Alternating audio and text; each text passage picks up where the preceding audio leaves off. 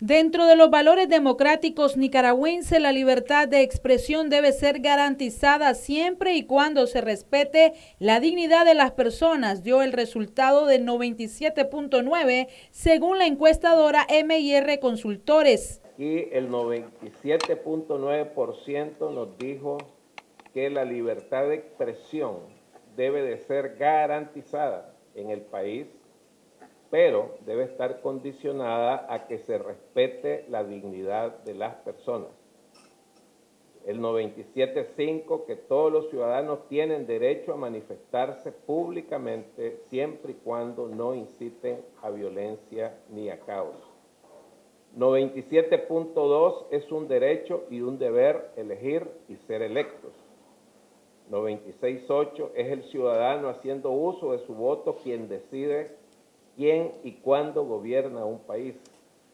96.9, el orden constitucional debe ser respetado. 99, nadie puede, sin asumir responsabilidades y consecuencias, violentar el derecho de otras personas.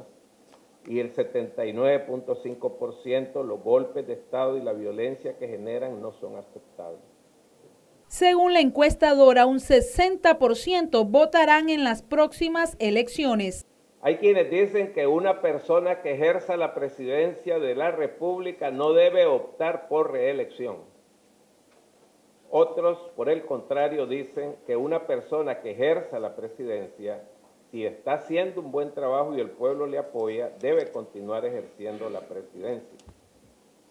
66.1% dice que si el pueblo apoya y le elige, debe continuar esa persona, independientemente de que haya estado o no.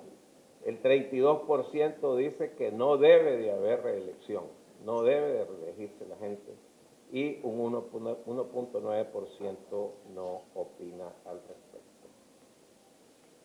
La disposición a votar en las elecciones 2021 60% categóricamente dice que sí va a votar, 17.2 dice que probablemente lo va a hacer. Eso nos da un 77.2 de participación probable en este momento, que no tenemos candidaturas, etcétera, etcétera. Luego el 2.2 dice que probablemente no va a votar, el 7.9 dice que definitivamente sí va, dice que no va a votar definitivamente, eh, y el 12.7% dice que no sabe.